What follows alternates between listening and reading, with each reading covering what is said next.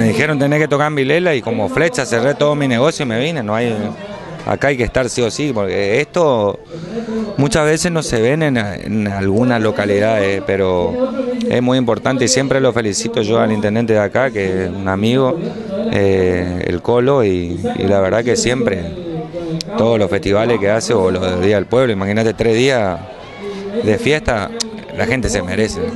Como artista, ¿cómo ¿qué te parece la organización de este evento? No, esto es fantástico, vos viste que todos los años, eh, viste que está eh, algo espectacular, eh, los locutores, todo. Esto, es- esto la verdad que es muy, pero muy lindo.